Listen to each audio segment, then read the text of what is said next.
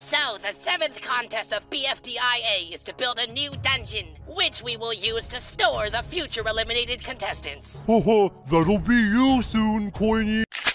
Hey look I'm sorry please don't